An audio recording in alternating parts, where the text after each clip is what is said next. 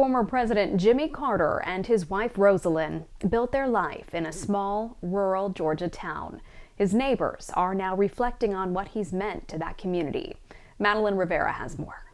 He was just as much a member of this church as any member was. Known as a devout Christian, former President Jimmy Carter's faith and desire to serve drove his decision making post presidency. After leaving office in 1981, he returned home to Plains, Georgia, where he and his wife Rosalynn joined Maranatha Baptist Church. It's there where Carter taught Sunday school for decades. Often crowds as large as 500 people lined up to hear him speak.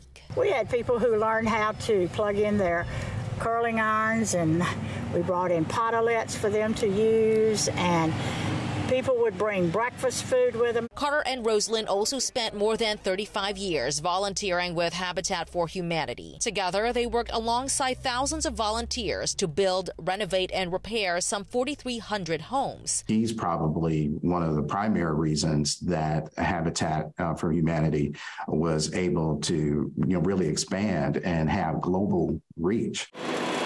Friends and supporters of Carter say this desire to serve began in his birthplace of Plains. It's part of the reason why the former president chose to spend his final days in this town of about 500 people. This has been the, the bedrock for his foundation and he could have lived anywhere in the world. He could have done anything with his time.